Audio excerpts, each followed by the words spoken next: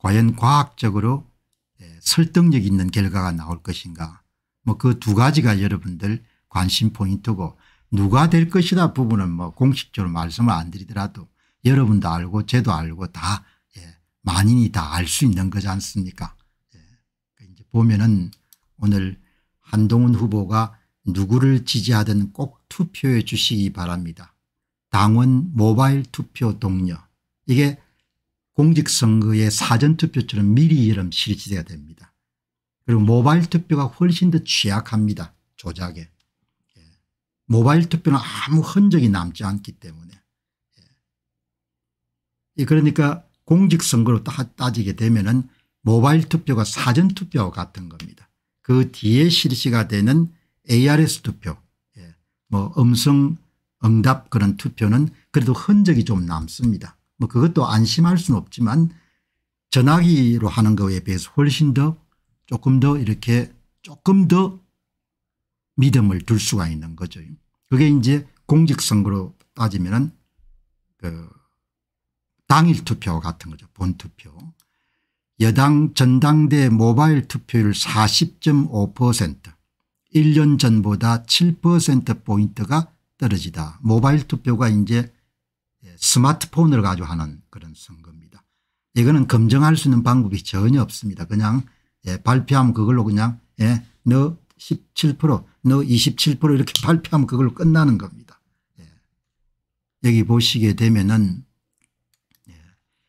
20일 국민의힘 선거관리위원회에 따르면은 모바일 투표 마지막 날인 이날 오후 5시 기준 84만 1614명의 선거인 가운데 40.47%에 해당하는 43만 615명이 투표를 완료했다. 오늘 여기 보시니까 허성구님께서 당원인데 투표 전화도 아직 안 왔습니다. 그 여러분들 이 조선일보 이 기사 가장 하단에 보니까 두 번 받은 사람도 있고 모바일 투표를 두 번 한 사람도 있고 그 어떻게 이런 선거를 두 번씩이나 하도록 그렇게 하지 뭐 이런 이야기가 나오는 거죠. 이런 보시면 34만 615명이 했으니까 이제 어머니 집단 모집단 예, 국민의힘 당대표 선거의 모집단이 84만 1614명입니다. 거기서 공직선거의 사전투표와 마찬가지로 예, 먼저 실시가 되는 모바일 투표의 47.47%가 여러분들 응한 겁니다. 그 표본 집단이 34만 615명으로 구성되는 모바일 투표 집단이 이제 이미 선거가 끝난 겁니다. 그 다음은 84만 명의 34만 명을 제외한 사람들 가운데 그 다음에 이제 ARS 투표를 하겠죠. 일반적으로 ARS 투표는 모바일 투표에 비해 가지고 참여자 수가 많이 작습니다. 그럼 이 34만 615명이라서 엄청나게 큰 수치입니다. 통계학에서 이야기하게 되면 표본의 수가 19일부터 예, 20일 선거인단 모바일 투표를 진행할 국민의힘은 21일과 22일 투표를 하지 않은 당원 선거인단을 대상으로 자동 응답 방식 조사와 국민 여론조사를 진행합니다. 그러니까 이 내용만 보게 되면 제가 자세하게 들여다보지 않았는데 뭐그 결과가 뻔하니까 뭐 제가 관심을 별로 안 가지는 겁니다. 그런데 이제 이 기사만 보게 되면은 7월 19일과 20일 양일 사이에 공직선거의 사전투표와 마찬가지로 모바일 투표를 먼저 하고 그다음 20일과 20일 양일 사이에 ARS 투표 자동 응답 방식의 투표하고 그다음에 전체 가운데서 20% 결과를 결정하는 국민 여론조사를 실시를 하는 거죠. 예. 그렇게 되는 겁니다. 그런데 여기서 이제 주목하는 것은 엄청나게 큰 겁니다. 표본 집단이 84만 명이면 우리가 대개 방송사나 신문사에서 여러분들 여론조사할 때 1000명 정도 하지 않습니까 1000명.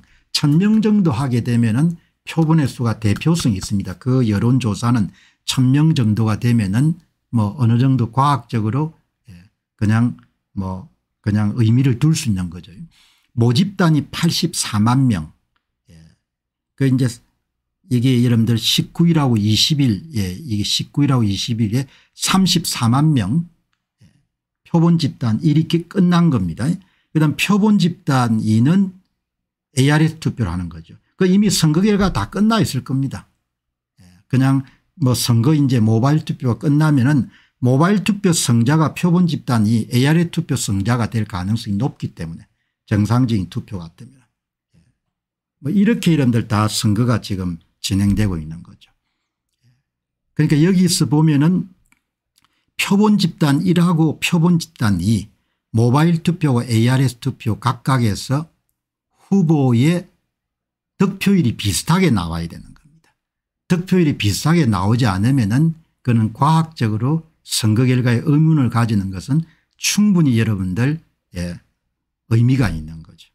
예. 이렇게 이제 모바일 투표를 하게 되면 아무것도 여러분 할 수 있는 방법이 없으니까 예. 여기 보시면은 이게 이제 여러 번 소개했습니다마는 2021년도 6월 달에 이준석 후보가 당선될 때의 모바일 투표하고 ARS 투표 결과지 않습니까 이 나경원 후보가 ARS 투표 당일 투표에서는 큰 폭으로 이겼습니다. 그런데 모바일 투표는 이준석 후보가 크게 이긴 거죠. 10.92% 이런 것은 나올 수가 없는 거죠. 왜 그런가 하니까 모바일 투표하고 ARS 투표에 표본 수가 대개 10만 단위 정도 되니까 ARS 투표는 아마 4만 정도 제 기억이 정확하면 4만이고 모바일 투표는 훨씬 더 많았을 겁니다. 이런 결과는 나올 수가 없는 거죠. 이거는 과학적으로 모바일 투표에 개입해가 조작을 하지 않으면 이런 결과는 나올 수 없는 겁니다. 주호영 조경태 홍문표 후보는 보시기 바랍니다. 이게 여러분 차이값이 예? 이렇게 차이값이 3% 이내라는 것은 모바일 투표 득표율하고 ARS 투표 득표율이 다 후보별로 비슷하다는 거죠. 예. 이런 결과가 나와도 예. 남조선 선거기 때문에 아무도 여기에 대해서 여러분들 이견을 제시하지 않고 누구도 부끄러워하지 않는 겁니다. 예. 뭐 고대역풍 메모리를 만드는 나라고 자동차를 만들어 파는 나라고 뭐 K방산이 어떻고 저떻고 이렇게 하더라도 선거는 그냥 지금 남조선 수준인 겁니다. 선거는 대한민국 수준이 선거가 아닌 겁니다. 예. 이 나경원 후보 이준석 후보를 보시기 바랍니다.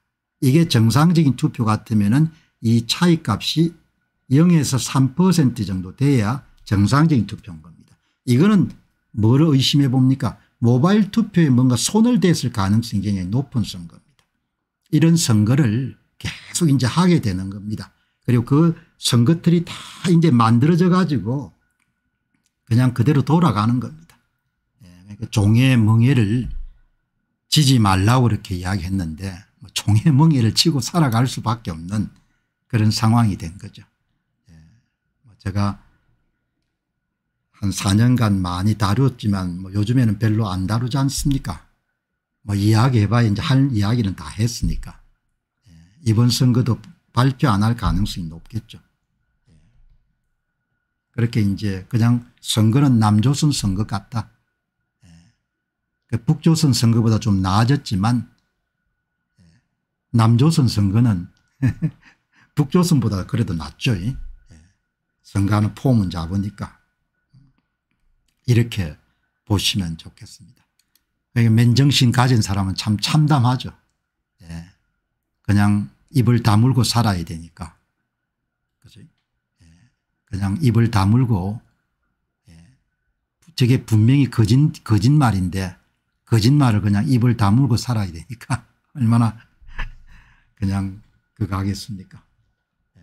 그게 이제 개인의 삶에는 이제 뭐 세금 증가라든지 이런 걸로 다 이제 증가가 안 되겠습니까.